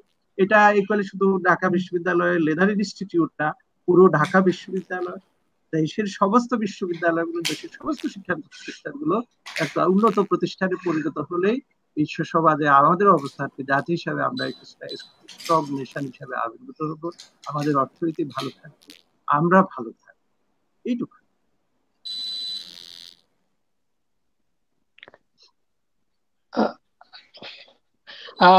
ধন্যবাদ দুজনকেই। আমরা মনে হয় এটা আসলে অনেকটা টু ওয়ে জার্নির মতো তারপরও আমার মানে অ্যাজ এ ইনস্টিটিউট হিসেবে আমার যেহেতু আপনারা আসলে ডিল করেন ছাত্রদের, তাদের ভবিষ্যৎ আপনাদের হয়তো দুই দুই স্টেপ বেশি আগাতে হবে দেন ইন্ডাস্ট্রি তো আমরা আশা করব যে আপনারা আরও আরও কোলাবোরেটিভ কীভাবে হওয়া যায় ইন্ডাস্ট্রির সাথে সেই জায়গাটা আপনারা অবশ্যই দেখবেন। আমি তারিক স্যারের কাছে প্রশ্নের ধরনটা একই রকম। যেটা দেখা যায় যে আমাদের যারা সচরাচর বর্তমান যারা স্টুডেন্ট আছে, তাদের সাথে ইন্ডাস্ট্রির সাথে বা বের হওয়া গ্রাজুয়েটদের মধ্যে একটা ব্রিজিং এর সম্পর্কের কাজটা করে হচ্ছে অ্যালামনাই অ্যাসোসিয়েশন নর্মালি যখন কোনো ইউনিভার্সিটির অ্যালামনাই অ্যাসোসিয়েশন আসলে ওই কাজটা করে। যদিও লেটস বি অ্যালামনাই অ্যাসোসিয়েশন না অনেকটা মেম্বার টাইপ বা তাদের অ্যাক্টিভিটিসটা ওই রকম তারপরও আমরা একটা প্রশ্ন করেছিলাম আমাদের অডিয়েন্সদের কাছে do you think leather engineer and technologist society Bangladesh LETSB currently act as bridge between its member and industry তো এই জায়গাটা আপনি যদি দেখেন অলওয়েজ সেই ক্ষেত্রে টোয়েন্টি পার্সেন্ট এবং সামটাইমস এবং রেয়ারলি অ্যারাউন্ড ফিফটি পার্সেন্ট আমি আবার বলে নেই, এই এই এই সার্ভেটা শুধুমাত্র মাত্র একশো তিনজন out of five thousand graduate বা আরও বেশি মানুষ এটা হয়তো অতটা কারেক্ট ইনফরমেশন হচ্ছে দিচ্ছে না বাট আমরা যদি একশো তিন জনের কথা চিন্তা করি, সেই ক্ষেত্রে পলিসি মেকিং লেভেলে আপনারা অনেক কাজ করতেছেন, আমি জানি লেটসবি অনেক কাজ করতেছে, কিন্তু আবার অনেক অভিযোগও আছে লেটসবির বিরুদ্ধে, কারণ গত একত্রিশ বছর ধরে এই সংগঠনটা, সেই উনিশশো উননব্বই সাল থেকে আজকে দুই হাজার বিশ সাল পর্যন্ত, একত্রিশ সালের একটা সংগঠন কেউ কেউ বলে যে এটা আসলে এখন কিছুই করে না, শুধুমাত্র আমরা কিছু কমেন্ট পেয়েছিলাম যখন আমরা পোস্ট করেছি এই প্রোগ্রামের যে শুধুমাত্র ওই পিকনিক শুধুমাত্র ইফতার পার্টি এবং একটা নির্বাচন, এই এই জায়গার মধ্যে লেসবি আটকে আছে। এখন লেসবির প্রেসিডেন্ট হিসেবে আপনি, স্যার, আপনি প্রথম থেকে এটার সাথে জড়িত, তারিক স্যার, আপনি। আপনি এটার লেসবির ভূমিকা এবং এইসব নিয়ে কীভাবে মূল্যায়ন করবেন এটাকে? প্রথমত হলো লেটসবিকে ঘিরে সব টেকনোলজিস্টের একটা স্বপ্ন আছে যে লেটসবি সবার স্বপ্ন পূরণে এগিয়ে আসবে। এটা খুবই স্বাভাবিক। তবে লেটসবির যে গঠনতন্ত্র বা লেটসবির যে গাঠনিক কাঠামো, সেখানে সব শব্দ পূরণের সুযোগ নেই। আর কিছু কিছু শব্দ পূরণের সুযোগ থাকলেও লেটসবির আর্থিক যে একটা সংকট আছে এবং এটা আমি শুরু থেকেই দেখে আসছি, সেটা একটা বড় প্রতিবন্ধকতা হিসেবে কাজ করছে। এবং একটা প্রফেশনাল সংগঠনকে যদি খুব ডাইনামিকভাবে চলতে হয়, তাহলে দেখা যায় যে ভলান্টারি সার্ভিসের উপর ডিপেন্ড করে চলে না। এখানে কিছু প্রফেশনাল অ্যাপয়েন্টমেন্ট দিতে হয় এমপ্লয়ি দিতে হয়, যাদেরকে ডাইরেকশন দিলে তারা কাজগুলো করতে পারে। আমাদের এই সংগঠনের পুরো লাইফে আমার মনে হয় হাতে গোনা দু চার বছর অফিসে একজন হয়তো সেক্রেটারি টাইপের লোক ছিল এবং সেটাও তিনি যে খুব যোগ্য সেক্রেটারি আমরা অ্যাপয়েন্ট করতে পেরেছি তাও নয়। আমরা করেছি যে মানে সাধারণ কাজগুলো চালিয়ে নেওয়ার জন্য। কিন্তু ডাইনামিজম যাকে বলে, সেটা আসলে আমরা দিতে পারিনি। আচ্ছা এই ব্যর্থতা প্রথমত আমি বলব যে আমরা, আমাদের সংগঠনটা যখন শুরু হয়, তখন এখানে আমাদের একই সংগঠন নিচে সার্টিফিকেট মানে টেকনিক্যাল এডুকেশন চারটা স্টেটা একটা সার্টিফিকেট আর্টিজেন এবং আরেকটা হলো আর্টিজেন সার্টিফিকেট ডিপ্লোমা এবং ডিগ্রি এই সব ধরনের লোকই ছিল। এবং এই সব ধরনের লোকদেরকে একত্রিত করে মানে কি বলা যায় যে উপরের দিকে যাওয়া খুব টাফ কেন বিভিন্ন লোকের চাহিদাটা থাকে বিভিন্ন রকম। কাজেই সেই এগিয়ে যাওয়ার জায়গাটা ছিল সীমিত। এখন আমাদের সংখ্যা আছে, অনেক আছে। তবে আমরা এখানে যে কিছু করছি না, সেটা কিন্তু না। যেমন বলা হচ্ছে আমরা পিকনিক করছি, আমরা ইলেকশন করছি এবং আমরা আরেকটা জিনিস বললে যে তিনটা কাজ করছি আমরা। তো সেগুলো বাদে কিছু কাজ করছি যেগুলো সাধারণ মেম্বারদের কাছে ভিজিবল না। তার মধ্যে একটা হলো, যেমন আমরা বিভিন্ন জায়গায় যে চাকরি বাকরিতে যে আমাদের মেম্বাররা যে সমস্ত সমস্যায় পড়েন, সেগুলো কিন্তু আমরা ইন্টারফেয়ার করি এবং আমরা অনেক জায়গায় সেগুলো সাকসেসফুলি করেছি এবং অনেকের অনেক দাবি, অনেক ন্যায্য পাওনা সেটা আমরা আদায় করেছি। এছাড়া বিভিন্ন সংগঠন আছে, সরকারি, বেসরকারি বিভিন্ন জায়গা আছে। যেখানে আমাদের সংগঠনটার ভূমিকা রাখতে হয় অ্যাটেন্ড করতে হয়, পরামর্শ দিতে হয়, পরামর্শ করতে হয় এবং পরামর্শ শুনতেও হয়। সেই জায়গাগুলো আমরা ভূমিকা রাখছি। এটাকে এই যে তারপর ফাইনালি যে কথাটা হলো, সেটা হলো যে লেসবি কিছুই করছে না। আমি সব ধরে নিলাম যে একেবারে ঘুমিয়ে আছে। তারপরেও ঘুমিয়ে আছে, এই যে একটি গাছ আছে, সেই গাছটির অবস্থানটা সেটিও কিন্তু কি বলা যায় যে যে স্টেক হোল্ডার যারা আছে কাউন্ট করার একটা প্ল্যাটফর্ম এবং সেই মূল্যায়নটা আমরা কিন্তু পাচ্ছি, যেটা একসময় পেতাম না, এখন আমরা অনেকটাই পাচ্ছি। তবে আমাদের সত্যি অর্থে যারা আমাদের কাজের প্রতি সন্তুষ্ট নয়, তাদেরকে আমি বলব যে তারা অমূলক নয়। আমাদের অনেক কিছুই করার সুযোগ ছিল এবং আছে, এবং আমাদের সেটা এই করা উচিত। এবং সেইখানে আমি মেম্বারদের কিছু দায়িত্ব আছে সেটাও বলছি। যেমন আমাদের এখানে সংগঠনকে ডাইনামিক হতে গেলে মেম্বারদেরকেও ডাইনামিক হতে হয়। আমার বারোশো মেম্বার আছে, কিন্তু রিয়েলি আমার সাবস্ক্রিপশন আপ টু ডেট আছে, অর্থাৎ লাইভ মেম্বার হয়েছে, তাও সাবসিডাইজ ডেটে অনেকে অনেকে ফুল পেমেন্ট দিয়ে। এরকম সংখ্যা হলো সাড়ে চারশো। আর বাকি মেম্বাররা সাবস্ক্রিপশনই দেন না। কাজে আমি অফিস চালাবো কি দিয়ে? আর আমি আমার স্টাফদের বেতন দিব কি করে? আর আমি ডাইনামিকের কথা চিন্তা করব কি করে? কাজে সবার সাব পার্টিসিপেশন থাকতে হবে। থাকলে এটাকে ভালোভাবে এগিয়ে নেওয়া যায়। ধন্যবাদ স্যার। অবশ্যই এটা এটা অবশ্যই যেহেতু এটা মেম্বারদের সংগঠন মেম্বাররা অবশ্যই বলবে। বাট একটা একটা প্রশ্ন কিন্তু এসে যায়। আপনি যখন বলবেন যে মেম্বারদের দায়িত্ব আছে এট দ্য সেম টাইম এই প্রশ্ন আসবে যে আমরা আসলে মেম্বারদের কি অফার করছি যে মেম্বাররা এখানে আসবে? তো এই এই জায়গাটা যেমন আমি একটা প্রশ্ন এখানে আপনি আপনি হয়তো দেখছেন যে বিজিএফ যদিও এটা বিজিএম এর সাথে লেসবি আসলে দুইটা ডিফারেন্ট অর্গানাইজেশন বাট ওভারঅল জায়গাটা হচ্ছে যে কোনো ইস্যু নিয়ে যখন তারা কথা বলে তখন স্পেসিফিক ডেটা জানাতে পারে। কিন্তু লেসবির কাছে এমন কোনো ডেটা কালেকশন নাই বা লেটসবি কি উচিত কিনা বলে মনে করেন।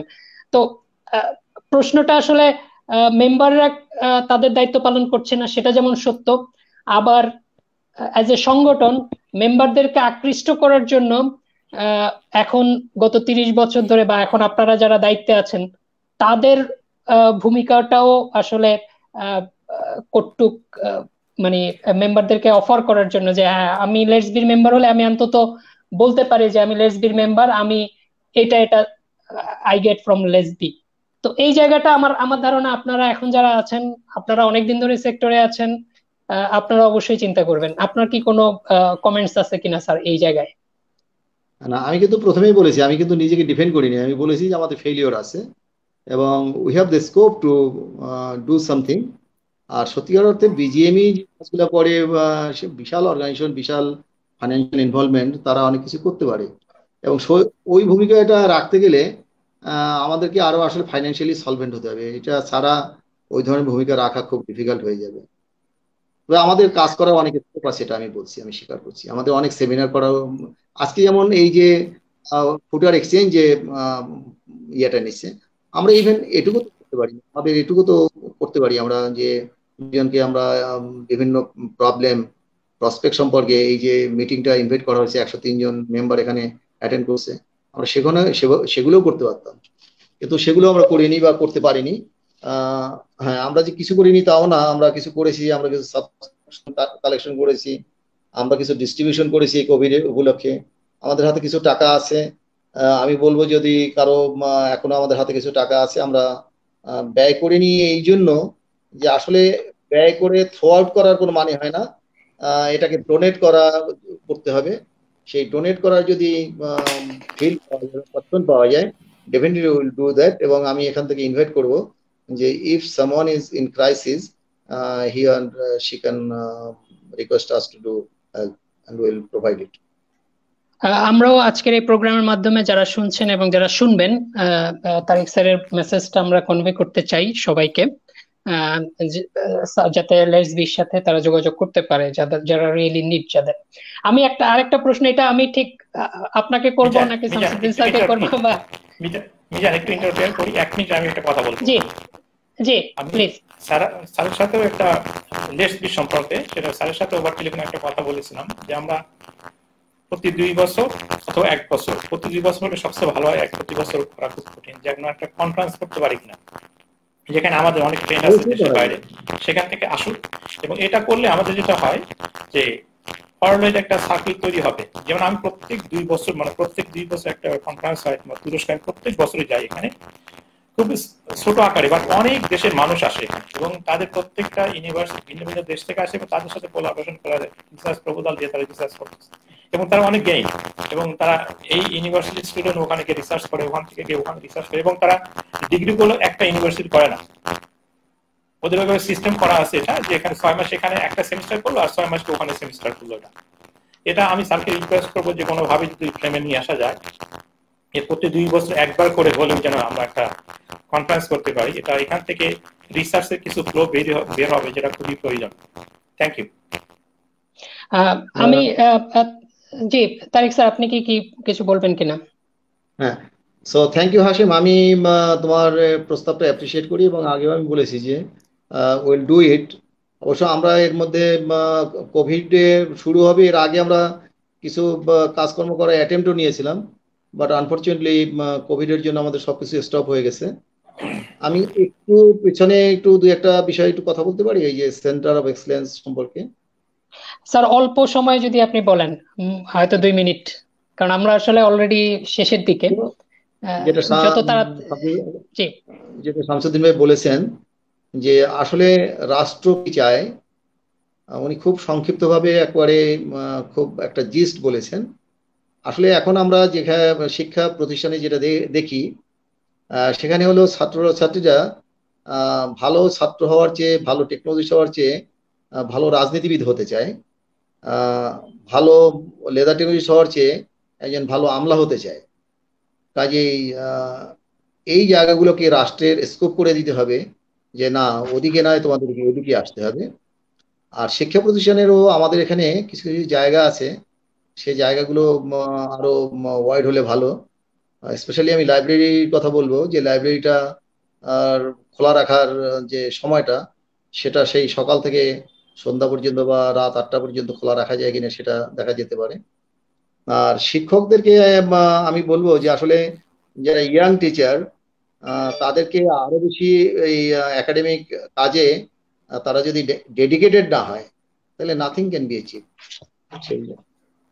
thank you ধন্যবাদ স্যার। আমি অনেকক্ষণ ধরে একটা প্রশ্ন রেখেছি। আমি আসলে জানি না এটার উত্তর আসলে কে দিবেন।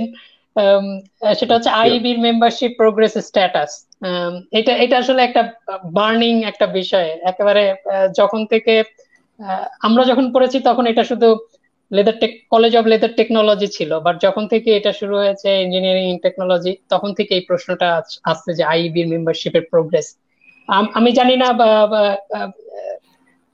শামসুদ্দিন স্যার আপনি কিছু বলবেন কিনা এই বিষয়ে? সেটা হতে হলে তো আপনার কারিকুলামটা আই আইবির রিকমেন্ডেশন অনুযায়ী সেভাবে ডিজাইন করতে এট দি সেম টাইম যে কতগুলো রেশিও আছে, যে আপনার বিভিন্ন সাবজেক্টের যে কন্টেন্টগুলো কি হবে, বিভিন্ন সাবজেক্টের যে আমি যদি বলি ম্যানেজমেন্টের কি আসবে অ্যাকাউন্টিং এর কি আসবে, আমাদের টেকনোলজির কত পার্সেন্ট আসবে সায়েন্সের কত পার্সেন্ট আসবে, ওইগুলো এবং থিওরি এবং প্র্যাকটিক্যাল ক্লাসের রেশিও তারপরে আছে আপনার এখানে যে অবকাঠামোগত দিকগুলো আছে ইকুইপমেন্টের বিষয় আছে আমাদের ম্যান পাওয়ারের মানে টিচিং স্টাফ এবং অন্যান্য টেকনিক্যাল স্টাফগুলো, এই সমস্ত জিনিসগুলো যদি আমরা ওদের যে ফরম্যাট আছে সেগুলো নিয়ে যদি আমরা ফুলফিল করতে পারি দেন সেগুলোর জন্য আমরা অ্যাপ্লাই করলে সেগুলো এই, তো এগুলোর প্রত্যেকটা ক্ষেত্রেই একমাত্র অবকাঠামোগত সিভিল ইনফ্রাস্ট্রাকচার ছাড়া আর সব ক্ষেত্রেই কিন্তু আমাদের ডেফিসিয়েন্ট অবস্থা বিরাজমান। আমি যদি প্রাইমারিলি বলি, আমাদের টিচার্স স্টুডেন্ট রেশিও সেটা প্রতি পনেরো জন ছাত্রছাত্রীর জন্য একজন শিক্ষক প্রয়োজন। ঢাকা বিশ্ববিদ্যালয়ের অর্ডিন্যান্স অনুযায়ী সেটা বলা আছে। এবং সেটাই আমরা এখনও মেনটেন করতে পারি নাই। তারপরে আপনার যে সাইন্টিফিক ইকুইপমেন্টগুলো আর যে কারিকুলাম ডিজাইনের ক্ষেত্রেও কিছুটা ব্যাকডেটেড অবস্থা আছে। সেগুলো তো আমি বললাম, আমাদের অলরেডি কমিটি কাজ করছে এই বিষয়ে। এবং আমাদের মাননীয় ভাইস চ্যান্সেলর শিক্ষার প্রিভিয়াস যে যিনি ছিলেন তাসরিফ ম্যাডাম ওনার সভাপতিতে আমরা একটা মিটিং করেছি, আমরা কীভাবে বেসিক জিনিসগুলো কীভাবে রিঅর্গানাইজ করব, সেগুলো নিয়ে সিদ্ধান্ত হয়েছে। এখন আমাদের ইনস্টিটিউশনে এছাড়া সংশ্লিষ্ট টিচাররা এই বিষয়ে কাজ করছে। কোভিড এর জন্য এই জিনিসগুলো অনেকটা পিছিয়ে গেছে। একদিন তাহলে আমরা কারিকুলাম অন্তত ডিজাইন করে চলতে পারতাম। তো আরও যে বিষয়গুলো যে আমাদের যে অ্যাসোসিয়েশনের যে অ্যালামনায়ের যে সহযোগিতা, সেগুলো খুবই গুরুত্বপূর্ণ। এখন আসলে আমি তো বলেছি, আমাদের সবার আগ্রহ থাকতে হবে যে একে অপরকে সহযোগিতা করা, আমাদের ছাত্রছাত্রীদেরকে সহযোগিতা করা। সেইভাবে যদি আমাদের আগ্রহ থাকে, আমরা প্রতিষ্ঠানগুলো আমাদেরকে ইন্টার্নশিপের ব্যবস্থা করে দিতে পারে। ছাত্রছাত্রীরা যায় ওখানে ইন্টার্নশিপ হইতে শিখুক। যদিও আমাদের ফোর্থ ইয়ারে ওয়ান মাসে ওয়ান মান্থের একটা ট্রেনিং প্রোগ্রাম আছে। এবং প্রতি বছরে আমাদের স্টুডেন্টরা শর্ট টার্ম হয়তো একদিনের জন্য ইন্ডাস্ট্রিয়াল ট্যুরে যায় যায়। সেটাকে আমরা টাইমগুলোকে আরও এক্সটেন্ডেড করে ইন্ডাস্ট্রিয়াল এক্সপিরিয়েন্সটা যাতে এরা বেশি করে পায়, সেই স্কোপটা তো আমরা যেমন চাইব ইন্ডাস্ট্রিও সেই সুবিধাটা দেওয়ার জন্য প্রস্তুত থাকতে হবে। তাহলেই তো আপনার রিয়েল কি বলে, যে যেগুলো নিড সেগুলো আমরা আমাদের ছাত্রছাত্রীরা সেগুলো অ্যাচিভ করতে পারবে। আর যে নলেজ ক্রিয়েশন নলেজ ক্রিয়েশন টেকনোলজির যে ডেভেলপমেন্ট সেগুলো কিন্তু কন্টিনিউয়াস রিসার্চ ছাড়া হবে না। রিসার্চ প্রোগ্রাম যদি আপনি যদি কন্টিনিউয়েশন রিসার্চ প্রোগ্রাম চান তাহলে আপনাকে ইনভেস্টমেন্ট লাগবে। সেই যে স্কেলে ইনভেস্টমেন্ট করা দরকার সেটা আসলে এখনও কোনো লেভেল থেকেই শুরু হয় নাই। যদিও আমাদের যথেষ্ট সুযোগ আছে। আমাদের অর্থনীতি কিন্তু এখন যথেষ্ট স্ট্রং আমাদের রিজার্ভ আছে প্রায় থার্টি সিক্স বিলিয়ন ডলারের মতো। এখান থেকে ওয়ান বিলিয়ন ডলার যদি আমাদের রিসার্চ কার্যক্রমে সাইন্টিফিক ইঞ্জিনিয়ারিং এডুকেশনাল রিসার্চ প্রোগ্রামে ব্যয় করি, আমি মনে করি না যে এটা খুব বড় বেশি অর্থ। এবং এই দিলে এই এই ধরনের স্কেলে চিন্তা করতে হবে। স্মল স্কেলে চিন্তা ভাবনা করলে পরিবর্তনগুলো দৃশ্যমান হবে না আসলে আমরা যদি ফাস্টার যেতে চাই বিগ স্কেল ইনভেস্টমেন্ট এবং সবার আন্তরিকতার সঙ্গে আমাদের ইনভলভ হতে হবে পরিবর্তনের জন্য, ভালো কিছু করার জন্য, তাহলে আমাদের সবকিছু ভালো। আমরাও একটা ডেভেলপ নেশন ওয়ানের মধ্যে যে ডেভেলপ কান্ট্রিতে রূপান্তর হওয়ার যে রাষ্ট্রীয় কর্মসূচি আমাদের মাননীয় প্রাইম মিনিস্টার বলেছে, সেই যে লক্ষ্যে আমাদেরকে আসলে স্কেল আপ করতে হবে সমস্ত কার্যক্রম তাহলে এগুলো আমরা অর্জন করতে পারব। ধন্যবাদ। ধন্যবাদ স্যার। হাসিম স্যারের কি কোনো মন্তব্য আছে নাকি এই এই সব বিষয় নিয়ে? কোনটা নিয়ে? এটা আইবি? আইবি কিংবা স্যার যেটা বলল সব আপনার আপনার কোনো এখানে কোনো কমেন্টস আছে কিনা? আইবির মেম্বারশিপ বা সবকিছু আইবির মেম্বারশিপ আসলে আমি একটু বলি একটা বাস্তব যেটা সেটা হলো যে আগে যত সহজ ছিল এখন এত সহজ না বেশ জটিল হয়ে গেছে জিনিসটা এটা। এখানে যে আমি শুরুতে একটা কথা বলেছিলাম যে আমাদের কারিকুলামটা করতে হবে আউটকাম বেস এডুকেশন এটা না করে বেসিক্যালি প্রসেস করা ভেরি ডিফিকাল্ট এই কাজটা নট সো ইজি জব ওই যে আমার তারিক স্যারকে আমরা নিয়ে আসলাম, স্যার দেখে গেছেন জিনিসটা কত জটিল। সে রিপোর্ট দেখে মানে ভয় পেয়ে গেছে যে এই রিপোর্ট তোমরা কতদিন যাবত দেখছ এটা? মিনিমাম সিক্স মান্থের কাজ ইট ইজ নট ইজি এই রিপোর্টটা লিখতে আমাদের জান বের হয়ে গেছে এটা। একটা রিপোর্ট লিখতে আমাদের এই অবস্থা হয়ে গেছে তারপরে সেই বেসিস এখন তারা কমার্স করছে আউটকাম বেস এডুকেশন করে, তারপরে আমাদের প্রসেস করতে হবে। এটা শুধু আমার একা করা সম্ভব না, সব টিম ওয়ার্ক টিম ওয়ার্ক করতে হবে সব টিচারকে এবং স্যার একটা কথা বললেন যে ইয়াং টিচার যারা তাদেরকে একবারে ডেডিকেশন দিয়ে কাজ করতে হবে ডিপার্টমেন্টের জন্য ইউনিভার্সিটির জন্য, দেশের জন্য, তাহলে সম্ভব। এটা আসলেই আমরা প্রসেস করতেছি এটা but it will take time বাস্তব যেটা। বাস্তব বললাম আমরা। আর একটা যেটা বললাম ইন্ডাস্ট্রিয়াল ট্যুরে যেটা হলো যে আসলে প্রত্যেক বছরই বা ব্যাচ থেকে স্টুডেন্টকে নিয়ে ইউনিভার্সিটির সাথে ইন্ডাস্ট্রিয়াল কোলাবোরেশন করা যেতে পারে এবং ডিরেক্টলি যেতে হবে গিয়ে ভিজিট করতে হবে। এখানে একটা বড় বিষয় সেটা হলো যে আসলে ফাইন্যান্স একটা বড় জিনিস আছে। সাপোজ আমি এক মাসে বিশজন স্টুডেন্টকে নিয়ে গেলাম একজন স্টুডেন্ট একটা, সব স্টুডেন্ট তো যেতে চায় কিন্তু তাদের কিন্তু ফাইন্যান্স থাকে না। একজন স্টুডেন্টকে ফাইন্যান্স করবে কে আর আমাকে ফাইন্যান্স করবে কে এটা? এটা বড় ইস্যু থাকে কিন্তু এটা এখানে একটু আমাদের চিন্তা করার বিষয় আছে জিনিসটা। তো থ্যাংক ইউ আমার পক্ষ থেকে এটুকুই। থ্যাংক ইউ তারিক স্যার আপনার থেকে আবারও আপনাকে টাইম দিতে হচ্ছে, কারণ আমরা অলরেডি এক ঘণ্টা, আমরা হয়তো আর দশ মিনিট আপনারা আপনারা যদি অনুমতি দেন, আমরা হয়তো আরও দশ মিনিট কন্টিনিউ করব। আমি শেষের যে যে জায়গাটা, সেটা হচ্ছে এখন এখন শামসুদ্দিন স্যার এবং তারেক স্যার দুজনই আপনারা বলেছিলেন যে আমাদের যে বিশেষ করে তারেক স্যার যেটা বলছিলেন যে কেরিয়ার অনেকেরই চাকরির সমস্যা হচ্ছে অনেক চাকরি পাওয়াটা ডিফিকাল্ট হচ্ছে কারও কারও ক্ষেত্রে কেউ কেউ হারাচ্ছে তো এই যে যে জায়গাটা সেইখানে আসলে ঠিক আমি আমি কারণ আমি কিছু কমেন্টও পেয়েছি এখানে যে এখান থেকে প্রতি বছর নিয়মিত ফেয়ার করা যায় আয়োজন করা কিনা জব ফেয়ারের আয়োজন করা যায় কিনা কিংবা সো এই এই জায়গাগুলো আপাতত আমি যদি এইভাবে ধরি যে কোভিডটাকে যদি আমি এটার শর্ট টার্ম ইয়ে ধরি যে আমাদের শর্ট টার্ম কিছু অ্যাক্টিভিটিস নেয়ার যেই সুযোগটা, সেইটা কি আপনারা চিন্তা করছেন কিনা বা আপনারা আপনারা কোনোভাবে এখানে সাপোর্ট করতে পারেন কিনা? লেটস বি যদি এরকম কোনো ইনিশিয়েটিভ নেয় ইনস্টিটিউট বা সবাই মিলে আমরা আসলে এরকম কিছু করতে পারি কিনা শর্ট টার্ম অবশ্যই কোভিড এর লং টার্ম কিছু ইম্প্যাক্ট আছে। কারিকুলাম একটা লং টার্ম বিষয়, সেটা আসলে খুব শর্ট টার্ম আমরা সলভ করতে পারব না।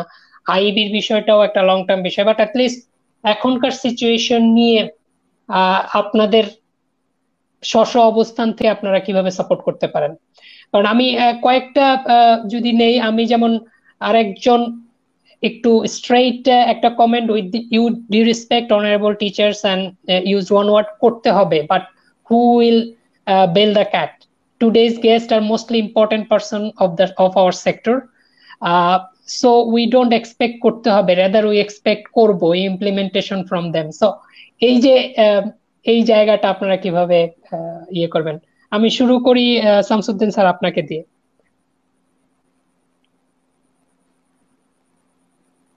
স্যার কি আমাদের শুনতে পাচ্ছেন জি কে কে আমাকে আমাকে বলছেন জি জি, শোনা যাচ্ছে, স্যার। জি প্লিজ বলেন, স্যার। হ্যাঁ তো আসলে তো শুরু শুরু করতে হলে বেসিক যে কথাবার্তা গুলো আমরা বলেছি, আপনারা যদি একটু খেয়াল করেন, যে কোনো কাজ করতে হলে আপনাকে প্ল্যান লাগবে। এবং প্ল্যানিং এর মধ্যে ইম্পর্টেন্ট এলিমেন্টগুলো কি? যে নলেজেবল পার্সন এন্ড দেন আপনার সেই ফাইন্যান্সিং এগুলো যদি, এবং যারা এগুলো এই যে আমি ট্রেনিং প্রোগ্রাম বা এডুকেশন আবার স্টুডেন্ট আর কিছু আবার সাপোর্ট স্টাফ আবার এগুলো যদি আবার সবগুলোই কিন্তু আবার প্ল্যান থাকলে ফাইন্যান্স থাকলে সবই হবে। এবং আমি বলছি ফাইন্যান্সিয়াল কিন্তু পার্শিয়াল কোনো কিছু না। আপনি স্ট্যান্ডার্ড কোনো প্রোগ্রাম যদি ইমপ্লিমেন্টেশন করতে চান, আপনাকে standard monetary policy battery package দিয়েই আসতে হবে। সে না হলে আপনার প্রপোর্শনাল কার্যক্রমই হবে। যেটা দিয়ে কখনো কোনো কিছু ফুলফিল করতে পারে তো এই জায়গায় কোভিড এর প্রেক্ষিতে আপনি যে কথাগুলো বলছিলেন কোভিড তো আমাদের এখানে স্টুডেন্ট অর্গানাইজেশনগুলো এবং প্রাক্তন ছাত্ররা মিলে কিন্তু একশো দশ দিন, দশ দিনের একটা কার্যক্রম পরিচালনা করছিল। তারা নিজেরা কিছু ফান্ডিং করেছে, আমাদের শিক্ষক সমাজ অংশগ্রহণ করেছে, আমাদের নাই যারা বিভিন্ন সেক্টর ইন্ডাস্ট্রি সেক্টরে কাজ করে, তারা কন্ট্রিবিউট করে প্রায় ছয় লক্ষ টাকারও কিছু বেশি টাকা তারা সংগ্রহ করে বেশ কিছু ছাত্রছাত্রীকে যাদের নিট তাদেরকে সাপোর্ট দিয়েছে এবং তারা শুধু একদম ফুলি টাকাগুলো ডোনেট করে দেয় নাই প্রায় দেড় লক্ষ টাকার মতো টাকা তারা লোনও দিয়েছে। ছাত্রছাত্রীরা যখন সম্ভব হয় ওগুলো আবার ফেরত দিয়ে দিবে। তো এটা ইতিমধ্যে শেষ হয়ে গেছে। তা আরেকটা টার্ম শুরু হওয়া উচিত। সেটা যদি কারণ এটা যদি কোভিডটা যদি লং টার্ম সাস্টেইন করে আর বিশ্ববিদ্যালয় এভাবে পরিস্থিতি বন্ধ থাকে এবং ছাত্রছাত্রী আপাতত অনেকেরই সংকট আছে, অনেক ছাত্রছাত্রী কিন্তু টিউশনই করে জীবনযাপন করতো। তো সেখানে সে নিজে যেমন চলতো, তার ফ্যামিলিকেও সাপোর্ট দিত। এখন এই রেডিয়েশন তারা যে অনলাইন ক্লাস করতে গিয়ে ডেটা কিনতে হয়। অনেকের কিন্তু মোবাইল সেট নাই বা ল্যাপটপ নাই। সেই ডেটাগুলো আমাদের কাছে আছে। আমরা বিশ্ববিদ্যালয় কর্তৃপক্ষকে আইনগুলো জানিয়েছি। আহ, ওনারা এই বিষয়ে বিশ্ববিদ্যালয় নীতি নির্ধারণী মহলে মিটিংও হয়েছে।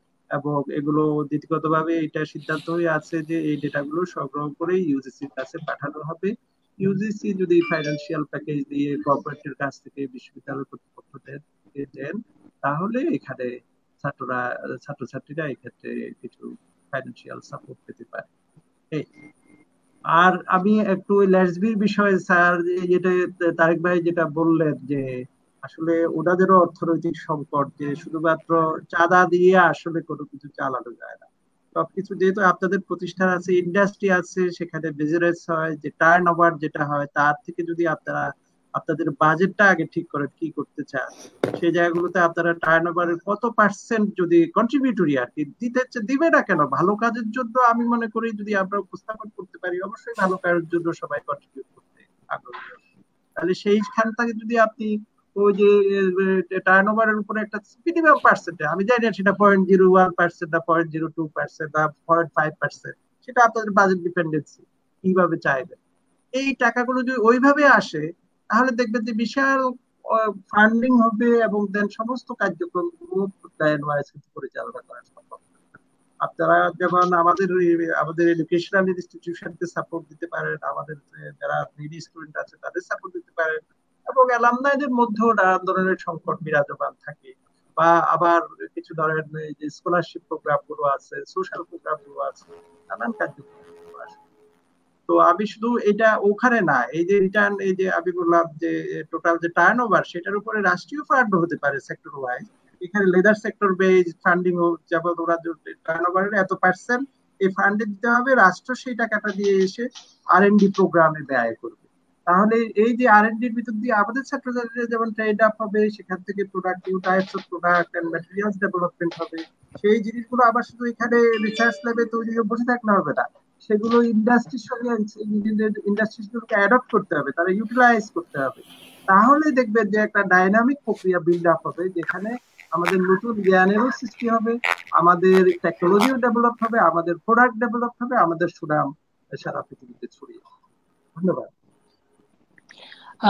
ধন্যবাদ স্যার। তারিক স্যার, আপনি এই এই বিষয়ে কোনো কারণ ইনস্টিটিউশনের কিছু লিমিটেশনস থাকে অনেক সময়, বিশেষ করে জব ফেয়ার বা এই জায়গাগুলোতে। নর্মালি এগুলা যেটা হয় ক্লাবগুলা এগুলা ইয়ে করে অর্গানাইজ করে। তারপর ইনস্টিটিউশন তার যে লজিস্টিক সাপোর্ট সেটা নর্মালি প্রোভাইড করে।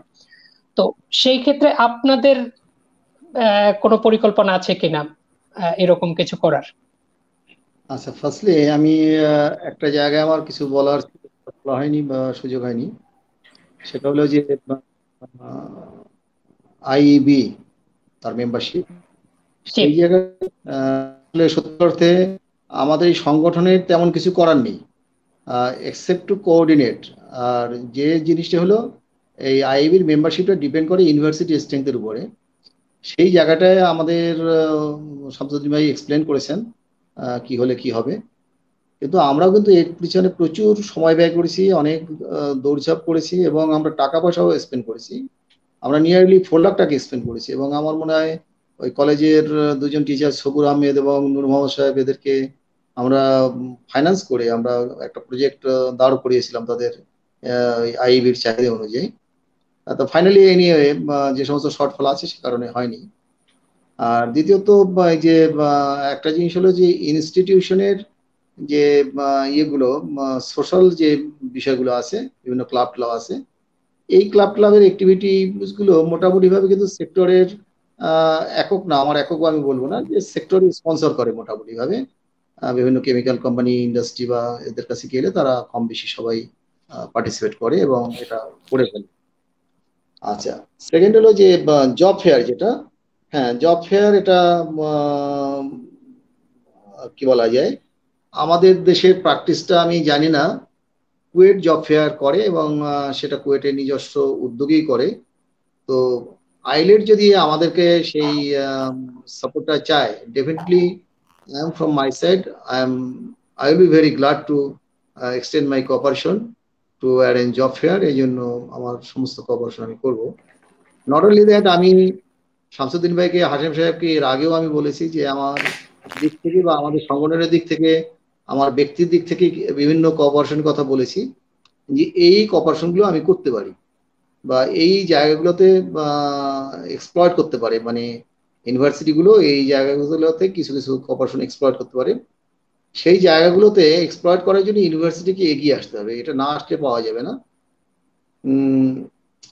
আর আমি ওই শামসুদ্দিন ভাই আরেকটা কথা বলেছেন যে আমাদেরকে সেক্টর থেকে সেক্টর থেকে ইন্ডাস্ট্রি থেকে বা ইন্ডাস্ট্রি টার্ন ওভার বা কিছু, বা মিনিস্ট্রি থেকে বা গভর্নমেন্টের কাছ থেকে আমরা যদি কোনো সাবস্ক্রিপশনের রেগুলার একটা ডোনেশন বা সাবস্ক্রিপশন ব্যবস্থা করতে পারি, তাহলে আমাদের পক্ষে অনেক কিছু করা সম্ভব। আমি জানি না কোনো আমাদের মতো এরকম কোনো প্রফেশনাল বডি এই সাপোর্ট পাচ্ছে কিনা, তবে আমাদের sector it is very difficult কারণ হচ্ছে এখানে আমাদের সেক্টর স্পেশালি লেদার আমি বলব না ফুটওয়্যার বা লেদার প্রোডাক্ট ইন্ডাস্ট্রি এরকম আছে কিনা। আসলে মালিক পক্ষ আর আমাদের ভেতরে মনে হয় একটা আন্ডারস্ট্যান্ডিং এর পার্থক্য রয়েছে। এবং সেখানে আমি বলব যে আমি যেহেতু এই পক্ষে, আমি বলব যে মালিক পক্ষ থেকে আমরা খুব ভালো এন্টারটেনমেন্ট পাই না সবসময়, যার জন্য আমরা আসলে অনেক কিছু করতে পারি না, আমরা চেষ্টা করেছি। কিন্তু হয়তো এই ব্যর্থতাটা আমাদেরই, আমি অন্য পক্ষকে দোষ দেবো না। এই।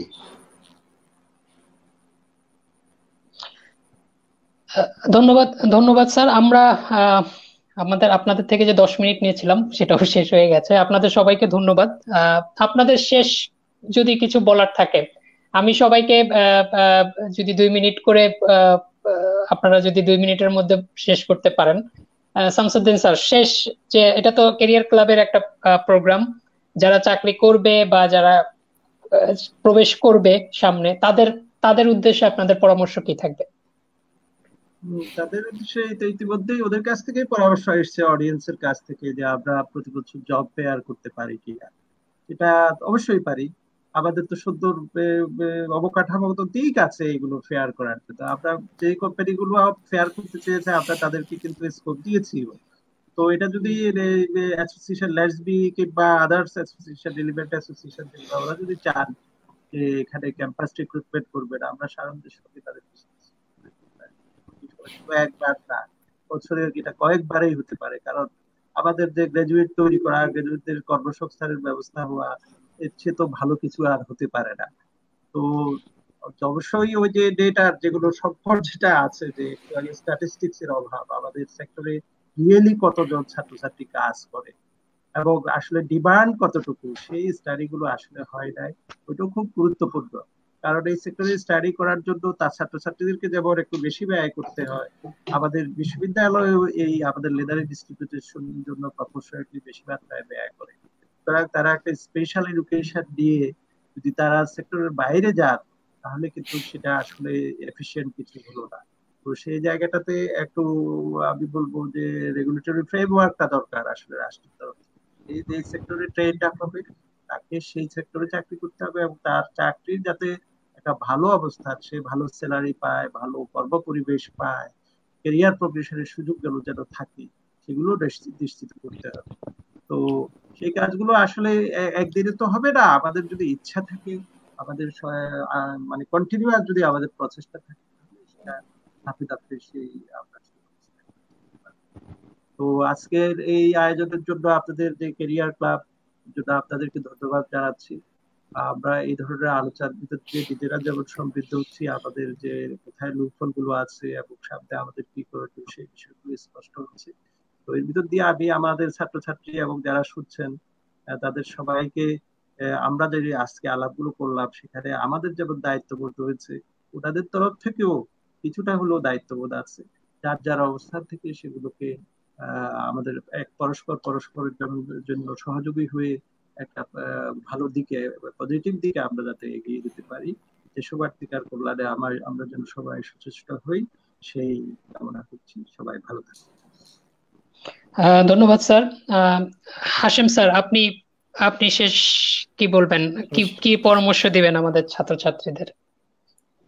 ছাত্রছাত্রীদের বেসিক্যালি আজকে যে বিষয় নিয়ে আলোচনা করল এখানে, ছাত্রছাত্রীরা জানলো যে তাদের উইকনেস কোথায়? আমাদের পক্ষ থেকে কি উইকনেস আছে? কোথায় থেকে কার কি উইকনেস আছে? উইকনেসগুলো, তার যেটা আছে, সে সেটা সমাধান করে দিল। দ্যাটস ভেরি গুড আর আরেকটা যেটা কথা হলো জিনিসটা যে জব ফেয়ার নিয়ে জব ফেয়ারটা আসলে করা খুবই সিম্পল ব্যাপার, আমরা বেশ কয়েক বছর হলে করতেছি এখানে। এই বছর আমরা সেন্ট্রালি করে ফেলছি কুয়েট এটা। এটা আসলে বেশি একটা একটা সময়কে ডিক্লেয়ার করে এটা করা যেতে পারে। ভেরি সিম্পল যখন আমাদের নতুন টার্গেট বের হবে, তার জাস্ট এক মাস আগে অথবা জাস্ট পরীক্ষা শেষ হয়ে যায়, তখন হতে পারে এটা একটা বড় চার্মিং অবস্থা হয়ে যায় এটা, যে সবাই জব জবের জন্য খোঁজে জবটা সিভি ড্রপ করে সবাই আসে বিভিন্ন কোম্পানি আসে এবং তাদেরকে ইউনিভার্সিটি যে লজিস্টিক সাপোর্ট দেয়, শুধু তাদেরকে আমাদের একটা সুন্দর গেস্ট হাউস আছে গেস্ট হাউসে তারা থাকে এবং তাকে খাওয়ার ব্যবস্থা করে দিই বাকিটা তাদের, তারা নিজে বিয়ার করে জিনিসটা। আর আমি একটু শামসুল সাহকে বলব যে তার ওখানে বড় একটা ক্যাম্পাস আছে, ওখানে জব ফেয়ার করা খুবই ইজি এখন ম্যাক্সিমাম কোম্পানিগুলো ঢাকায় এটা প্রতি বছর করা খুবই ইজি এটা আমার বিশ্বাস, এটা তার সাথে লেস আছে জয়েন্টলি এটা খুব সুন্দরভাবে করতে পারে। সেটার সাথে দুটা হতে পারে যে কুয়েট এবং আইলেটকে একসাথে পার্স করে কখন গ্রাজুয়েট বের হবে সেটাকে টাইমিং করে সেখানে করলে খুবই একটা প্রচারণা হবে যে হ্যাঁ আমাদের একটা প্রতি বছর একটা জব দেওয়া হয়, সেখানে আমাদের উপস্থিতি থেকে আমরা জব পেতে পারি। আর ফাইনালি যেটা বলব যে আমাকে আজকে প্রোগ্রাম ইনভাইট করছ এবং এখানে যারা, তোমরা যারা একসাথে জড়িত কলা যারা আছে, সবাইকে আমি অনেক ধন্যবাদ সেটা। আর বেসিক্যালি উইকনেস সবাই আছে, শিক্ষক, ছাত্র এবং প্রতিষ্ঠান, যেটাই বলি আমরা, স্যার যেটা এখন আছে ইন্ডাস্ট্রির সাথে জড়িত আছে আসলে এখানে আরেকটা জিনিস বলে রাখি, সেটা হলো যে ইন্ডাস্ট্রির মালিক সবসময় চায় যে আমি যাকে নিয়োগ দিচ্ছি, তার কাছে আমি অনেক কিছু পাবো এটা। বাট শুরুতে যেটা হয় যে আসলে খুব বেশি না পেয়ে তারা ডিমোরালাইজ হয়ে যায়, যে আসলে আমি কি প্ল্যান করলাম, কি পাচ্ছি। এখান থেকে বেসিক একটু ডেভিয়েশন চলে আসে যে আসলে তাকে যে আমার হবে কিনা। এই যে হবে না বা হবে কিনা, এখানে একটা কনফিউশন চলে আসে। সেই রেসপেক্টে ইন্ডাস্ট্রির সাথে ইউনিভার্সিটি কিন্তু কোলাবোরেশন খুব বেশি ভালো অবস্থা নাই আর গ্যাপ তৈরি হয়েছে আমাদের যেখানে যে আসলে শর্টফল আছে আমাদের স্টুডেন্টের প্রতি বেশ কিছু শর্টফল আছে, সেগুলোকে ফিল আপ করার জন্য ইউনিভার্সিটি চেষ্টা করতে হবে এবং সেখানে তুমি যেহেতু অনেকগুলো পয়েন্ট আউট করছ, আমি একটু রিকোয়েস্ট করব যে তুমি যেগুলো পেয়েছ, সেগুলো একটু আমাদের মেল করে দিতে পারো। আমরা যদি কিছু আছে যে আমরা কারিকুলাম ছাড়াই কিন্তু ডেভেলপমেন্ট করতে পারি। কিছু কিছু পয়েন্ট আছে অবশ্যই। সেগুলোকে কারেক্ট ভিডিও ইনকর্পোরেট না করেই অটোমেটিক আমরা কিন্তু ডেভেলপমেন্ট করি। সেরকম কিছু পয়েন্ট থেকে, আমি বলব তোমাকে একটু রিকোয়েস্ট করব যে আমাদের একটু মেল করে যাও, সেটা ইনস্টিটিউট থেকে আমাদের উপরে সব জায়গায় দাও সবাই আমরা চেষ্টা করব। তো সবাইকে অনেক ধন্যবাদ। সবাই ভালো থাকবেন। আমরা আমরা অবশ্যই এটা করব। আমরা আপনাদেরকে, আমাদের একটা সামারি আপনাদের তিনজনকে আমরা পাঠাবো যাতে আপনারা আমাদের কমেন্টসগুলো নিয়ে আপনাদের কাছে পাঠাবো যাতে আপনারা এটা কনসিডার করতে পারেন। তারেক স্যার আপনি শেষে দুই মিনিট সময় আপনার জন্য। আমি সরি যে আমাদের ইয়ে করতে হবে। আপনি আপনার আচ্ছা। আপনার ফেলো ফেলো স্টুডেন্টদের কীভাবে আপনি পরামর্শ দিবেন? কি পরামর্শ দিবেন?